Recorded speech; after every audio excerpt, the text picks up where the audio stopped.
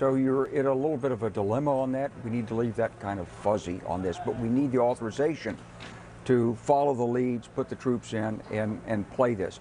Look, ISIS got started through funding from our friends and allies because as people will tell you in the region, if you want somebody who will fight to the death against Hezbollah, you don't put out a recruiting poster and say, you know, sign up for us, we're going to make a better world.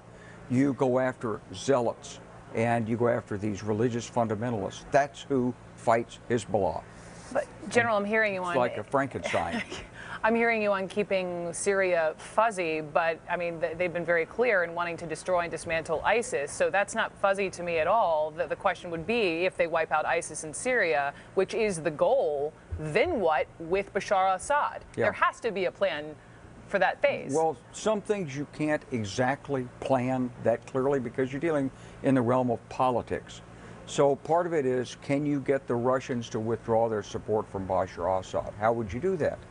Hmm. Well, you're dealing with the Russians in Ukraine right now, and they're not being helpful. No, in they're fact, not. from Putin's perspective, he probably sees it as a, the opposite play. He says that because the Americans need us to help on Iran, because they don't have a ground force in Syria, they're actually relying on us. Therefore, we can push Ukraine further, and the Americans won't stop us because they're afraid they'll lose our cooperation elsewhere in the world.